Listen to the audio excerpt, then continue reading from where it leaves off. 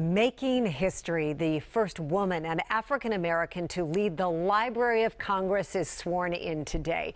And Dr. Carla Hayden spent the last several years leading the Pratt Library System here in Baltimore. And WJZ is live at the Enoch Pratt Library in Mount Vernon. Marcus Washington with more on this historic day. Marcus? Uh, that's right, Mayor. You know, right here, this was the home for Dr. Hayden for many years as she had the Enoch Pratt Free Library. And, you know, as much as people are sad to see her go, they couldn't be more proud of her accomplishments and history, all that she's making right now.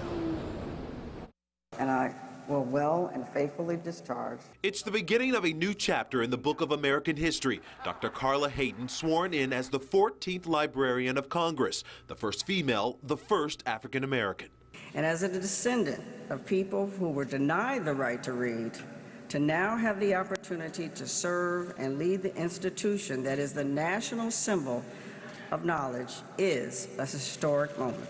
Dr. Hayden, most recently the director of the Enoch Pratt Free Library in Baltimore since 1993, celebrated for her innovation during her tenure, U.S. Senator Barbara Mikulski calling Hayden an inspirational and transformational leader.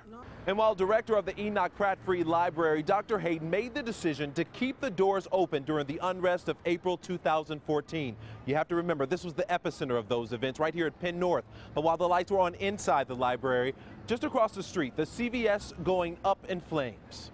Cars were still smoldering in the streets. Closed signs were hanging in storefronts for blocks, but people were lined up outside the doors of the library. And when you walked in that library during that time of trouble and tension, there were kids reading, there were kids studying, there were people on the computers trying to find a job. That forward thinking and actions, many say, makes Dr. Hayden the perfect fit for this position and leading the Library of Congress into the future. So let's make history at the Library of Congress together. Thank you.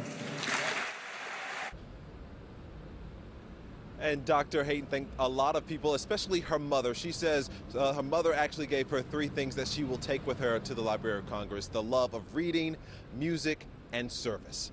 Reporting live tonight, I'm Marcus Washington, WJZ Eyewitness News. Baltimore is so very proud of her, Marcus. Thank you. Before coming to Baltimore, Dr. Hayden worked as the Deputy Commissioner and Chief Librarian for the Chicago Public Library. What an exciting day, I know.